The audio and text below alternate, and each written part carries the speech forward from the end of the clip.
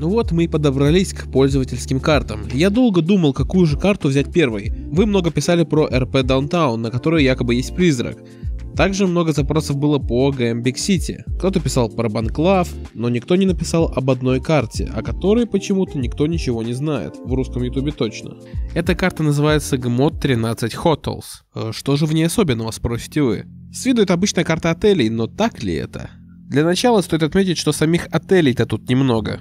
Все остальное место занимает научно-исследовательские отделы, офисы, тюрьма строгого режима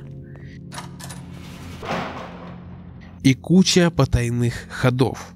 На этой карте много интересных моментов. Итак, мы пойдем от более-менее объяснимого до самого непонятного. Так сказать, замутим айсберг этой карты. Вот так прикол, конечно. Предположительно, по лору карты в 1994 году из тюрьмы сбежал человек по имени Ратман. Да, возможно, это, кстати, отсылочка на персонажа из Portal. Сбежал он, предположительно, отсюда. В этом месте есть эта решетка, которая открывается только из комнаты охраны. Скорее всего, Ратман сбежал именно этим способом, потому что здесь мы можем найти кровать и остатки еды. Скорее всего, Ратман жил здесь какое-то время. Далее что-то произошло, что заставило Ратмана уйти. Идя дальше по тоннелям, мы можем найти такую пещеру. И тут вылезет сообщение.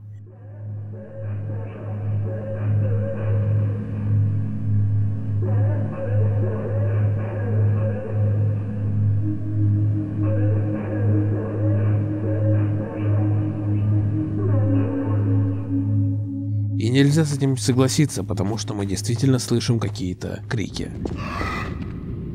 В какой-то момент мы можем заметить здесь проход. Без науклипа туда не попасть, я пробовал. И тут опять вылезет сообщение, и мы увидим Ратмана.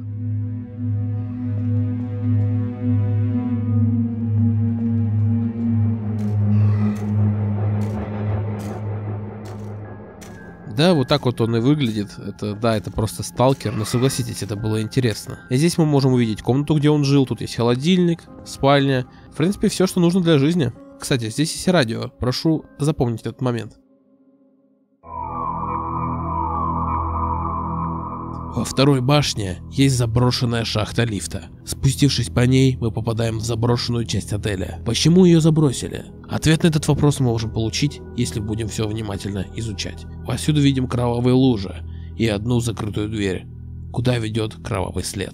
Чтобы открыть эту дверь, нужно в одной из комнат найти куклу и просто взять ее, и в дверь автоматически откроется. Зайдя сюда, мы увидим мигающий свет, такое же радио, как и у Ратмана, и мы будем слышать какой-то странный звук. Этот звук издает кукла. Если мы ее возьмем, то отчетливо это услышим. Но если мы подойдем ближе, то мы умрем от скримера. Ну, конечно, скримера назвать сложно, но, тем не менее, призрак здесь есть, поэтому эту часть и забросили. Сама карта переполнена потайными ходами. Например, в туалете можно пробить стенку, в кабинете Брина можно пробить пол, куча пробиваемых стенок, которые просто ведут никуда. Какие-то вентиляционные ходы, потайная комната под бассейном. Все это очень странно и заставляет задуматься, а зачем все это было сделано? В одной из лабораторий есть портал. Если мы в него зайдем, то мы попадем в локацию, где стоят три пирамиды, ангары и озеро. Что это за место и где это находится, неизвестно. Чтобы попасть обратно, нужно пойти в одну из пирамид, где будет портал. Зачем существует это место и для чего оно создано, неясно. На карте изначально тихо, до тех пор, пока вы не начинаете здесь копаться. Периодически будете слышать смех, крики Ратмана, какие-то шаги, открывающиеся двери и так далее. Будет полное ощущение присутствия, но на деле никого не будет. Это очень сильно нагоняет жути.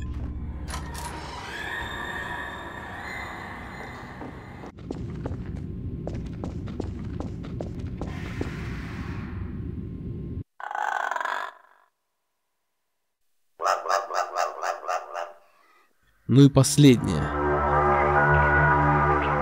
Да, звучит впечатляюще, но все же.